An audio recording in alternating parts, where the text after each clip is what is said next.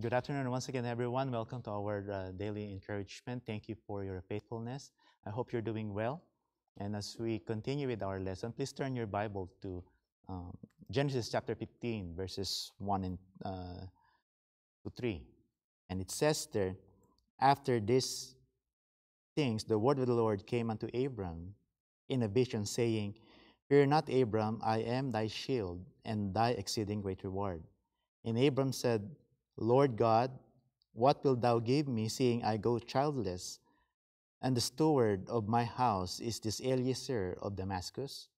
And Abram said, Behold, to me thou hast given no seed, and lo, one born in my house is not my heir.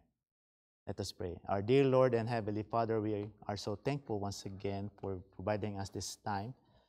Please guide us. In Christ's name we pray. Amen. So, today we are studying the name of God, another one. If you will see in verse 2, when Abram responded to God, he said, Lord God. And if you will see it there, you will note that that word, Lord God, the word Lord there is the capital L and small o r d. That's the name that we are studying today. And that name in Hebrew is the name Adonai. Adonai. Now, in the previous study that we had, the previous names that we studied, you will see that that word, the name El, the name Elohim, Jehovah, El Shaddai, all of those names are related to the person of God. But the name Adonai, the name that is under consideration today, lays a definite claim on man and his responsibility. The previous names is about the person of God, but this name now that we have, that we are studying, Adonai, or translated Lord, is saying that God has a claim to us. This word Adonai was translated 300 times, uh, was used 300 times in the Bible and translated to that word, capital L O R D. And what is very unusual about this word is that when you see this word used in the Hebrew, uh, for example, in uh, Genesis 15, verse 2, you will note that this, Lord, this word Lord is always in plural. You see, there's a similarity between this Lord here, always in plural, and Elohim, which is again in plural form. If you come to, it can remind us that this is implying once again the doctrine of Trinity that God is three persons in one God.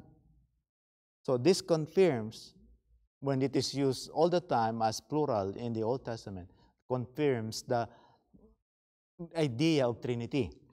It was used 215 times for men, and whenever it is translated, it is translated either uh, these three terms, that master, lord, or sir. Now, the, the name Adonai, or translated as Lord, signifies ownership and mastership. It indicates the truth that God is the owner of every human being, whether believers or unbelievers. Everyone, every creature in this universe is under the lordship, the mastership, and ownership of God Himself. Deuteronomy 10:17 says, "For the Lord your God is God of gods and Lord of lords, a great God and a mighty and terrible, with which regarded not persons nor taketh reward." That word mighty means powerful, and that word terrible means awesome. Which means that we are to view God as an awesome God that we that he is so powerful that we put ourselves in this. So, what is the significance of this name? Number one, for us, the word Lord or Adonai means there is a slave and master relationship between us and God.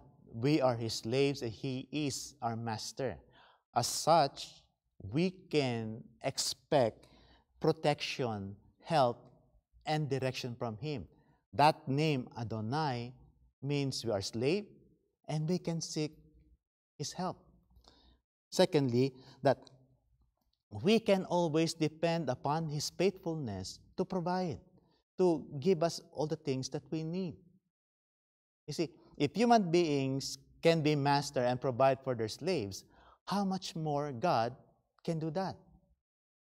Number three, that whenever God tells us to do something, commands us to do something, He enables. You remember that in the case of uh, Abraham, He enabled him to do all the things. And Philippians also mentioned about uh, Apostle Paul, I can do all things through Christ. And you remember Moses when he was saying that I am a stutterer, I cannot speak, but God said, Who gives man their tongue?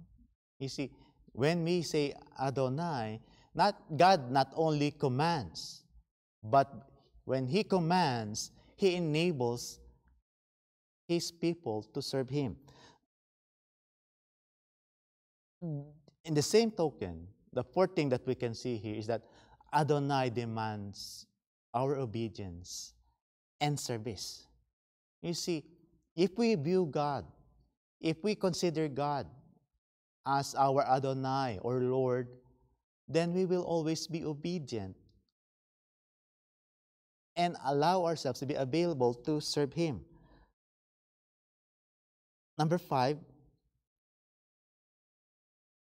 whoever considers themselves to be servants of God, whether there were kings before in Israel, the prophets of old, even the pastors and uh, every believer, when we recognize that God is our Adonai or Lord, therefore, we will know, we will recognize that He has the right to command us, to dispose us in the way He sees fit, that He has the right to give us His will and expects us to obey Him all the time and be under His will. But Adonai also tells us that there will be a day of reckoning. The day of reckoning, the day of judgment, wherein He will we will be accounting for everything that we serve God, that we obey Him. Remember in First Corinthians where it says there that uh, our works of service will be tried under fire. And lastly, to be the servant is the greatest of all joy. You see, there's an irony whenever we realize that God gives everything. And this, when God gives everything, it is contrary to the opinion of the world. In God's case, when we consider God as our Master and Lord, this is the joyous moment of our lives.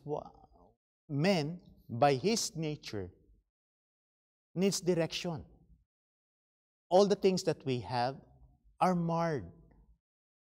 And